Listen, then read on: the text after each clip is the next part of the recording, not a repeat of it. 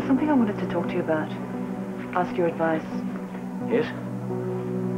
Look, just, just say if it's anything I can help you with. I... I'm sorry. I'm, I'm probably blowing it all out of proportion. It's... It's only a problem with one of the students.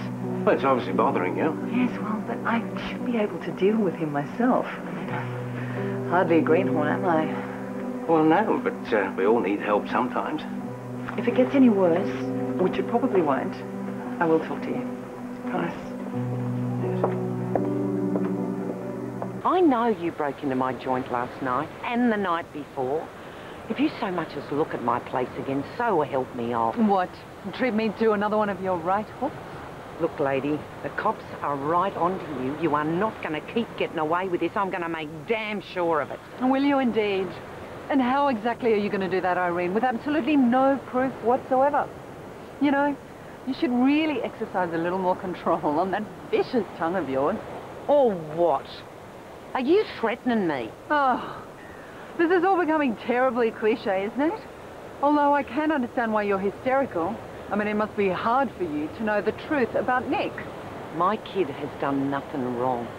And if you think for a single second people around here are going to believe that he has, you got one more screw loose than I thought. I'll be sure to reassure him of that next time I see him lurking outside my bedroom window.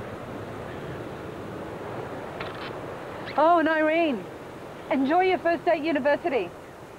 I think it's lovely you're finally getting an education. How was your day, Nick?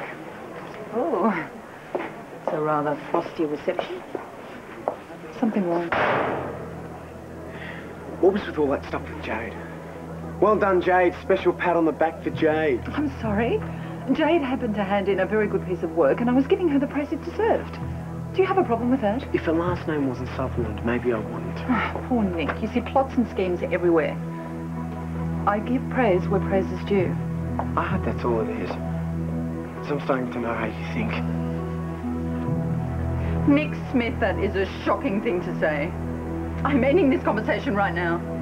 What? Last warning, Nick. I'm running out of patience.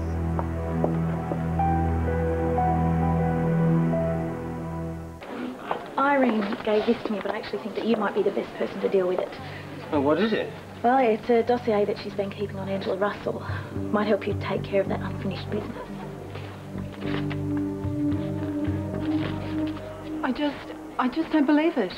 Why would anyone want to prepare a scandal sheet on me? I don't think why is relevant, Angie. If it was Irene who prepared that, you have to understand, Don. She assaulted me. And don't you think she might be doing this in an effort to deflect attention from herself and from Nick? Nick? What has Nick Smith got to do with this? Remember, I told you about a student that I was having problems with. A matter of inappropriate behavior. It was Nick Smith.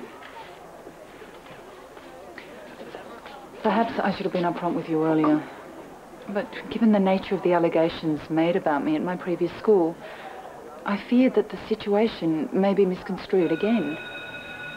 Uh, look, this is becoming a rather, uh, rather complex situation. But you have to understand that my first obligation is to the students. Of course. As is mine. Right. Well, I'll keep you informed.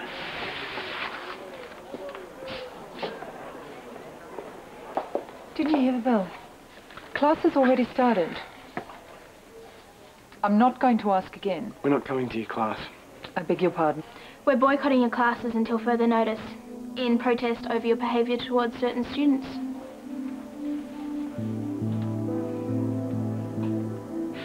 Do you really think this is mature behavior? All right. We have two options here. Either you come to class now and we forget all about your little industrial action, or you proceed and face the consequences, which, I should point out, will be dire. We'll take our chances. Come on, let's go.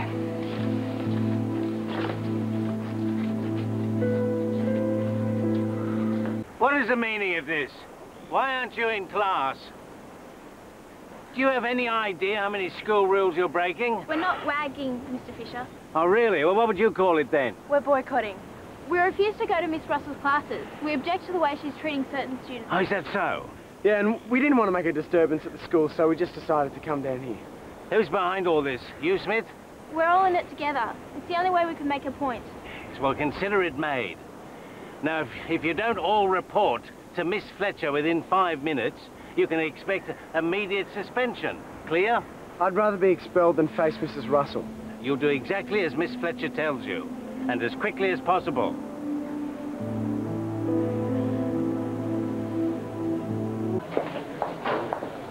Mr. Smith, you wanted to see me. Um, If it's about your essay, I have it with me. I, I didn't. Uh, I don't have all afternoon, Nick.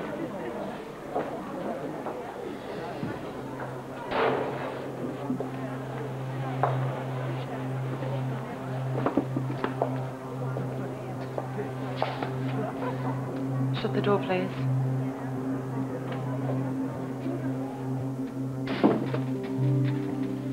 What's this about? I was really hurt by that stunt you pulled this afternoon. It wasn't a stunt. What have I done to deserve this, Nick? I think you know. Well, that's the thing. I have to explain your actions to Mr. Fisher, and I really don't know where to start. Do you really want me to spell it out? What I want above all is for us to put this behind us. What I need you to do is to explain to Mr. Fisher that this is a big mistake, that nobody treated you unfairly. I will make sure that you are not disciplined. I can't do that. Don't defy me, Nick. I'm over this, Mrs. Russell. You can threaten me as much as you want, but I'm not playing your games anymore. Oh, you poor misguided boy. You are so out of your depth. I don't think so. Oh, I do. I'm not going to let you beat me. Help me! Somebody, please! Stop!